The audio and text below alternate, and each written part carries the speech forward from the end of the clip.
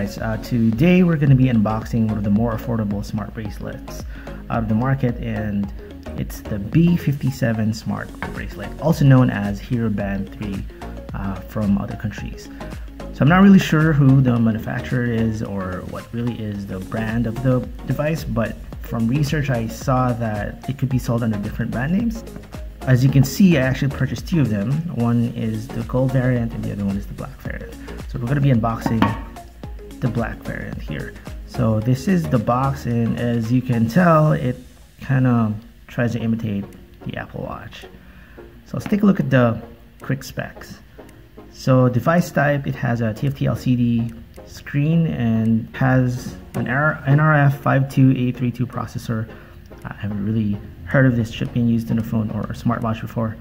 Uh, display has 1.3 inches with a resolution of 240 by 240 uh, pixels. And then you have a touchscreen display. Obviously, it's a smartwatch, but as far as I know, the touchscreen part is only at the bottom. But we'll find out later. Uh, you also have different sensors here. You have the three-axis sensor for motion detection if you're checking the time on your wrist, and you also have the green light heart rate monitor sensor. Uh, waterproof rating is IP67, so it should be dust uh, dust proof and uh, pretty good for the typical Bluetooth version 4.0. And it's compatible with Android 4.4 and above and iOS 9 and above. One thing that's not on the spec sheet or the spec page here is the battery, uh, which I believe is 180 milliamp hour. So it should last you for maybe less than a week or so, considering this is a this is a colored bracelet or colored panel. So let's take a look at what's inside. So you can pull it off the box here. Set that aside from there.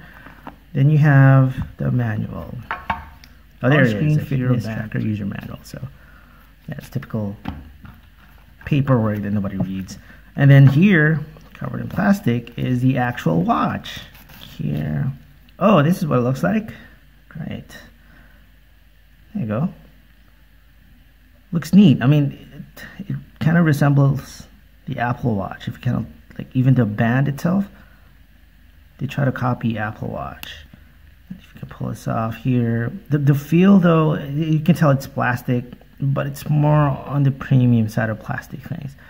And this the screen, and you have this indicator here. As far as I know, this is only included in the plastic. If I peel off the plastic, which I'll do now the white, yeah, the white circle actually goes away as well. So it's a completely black screen, very nice looking panel. You don't see any, like you don't distinguish, let me zoom that, let me zoom that in for you. You, you don't see, you distinguish the, um, the screen from the, from the glass panel at the top, but the screen actually covers just about this part. So what else is in the box? Let's put this aside for now. I haven't really, let's take a look at the, oh, okay, the charging cable. So it looks like a, a pin with kind of this prong. Yeah, it's a two pin charger which should connect here. So you're kind of charging it up like upright. So something like this. Okay.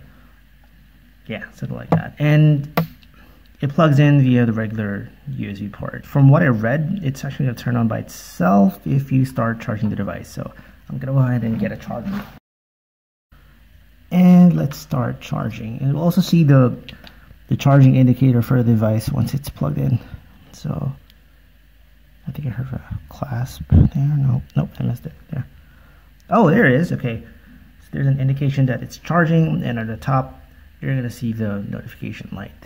It's not breathing though, it's just a stable light indicating that it's charging. So I'm gonna give it some time to charge and we'll get back to it later on. Alright guys, the device has charged up and it initially has a lot of charge in it. You just kind of have to plug it to a charger for the device to turn on. So this is what the default watch face looks like. And you can tap on the bottom part of it. As I told you, the, the middle part of the screen is not really touch screen, doesn't do anything. The bottom part is like the entire space at the bottom and as you can tell the screen is just a little bit on the center with a huge bezel at the side so this is the default watch face very uh, reminiscent of what we can find in Apple Watch and as you can tell it has the time oops has the time, has like the steps, the sleep, and the activities monitor here uh, that gradually fills up in a circle as you uh, go through your goals. So uh, to navigate, you kind of have like to tap this, like the bottom part, and you can see there a set of items at the bottom that you can navigate through. Different of them. It's pretty responsive though. It's it's great, uh, great feel and smoothness on the in the OS. And to go through the specific data of each page, you kind of have to long press it there. So it shows you the exercise or the activity, and then you have the steps for the day, and then you have sleep. You can kind of change these settings through the app you can download from the market. Um, and as I've mentioned, this is also known as the Hero Band 3. So if you go to the Play Store, you're gonna find the Hero Band 3. All you gotta do is just install this. So before we test the app, I just wanna see how it feels in the hand.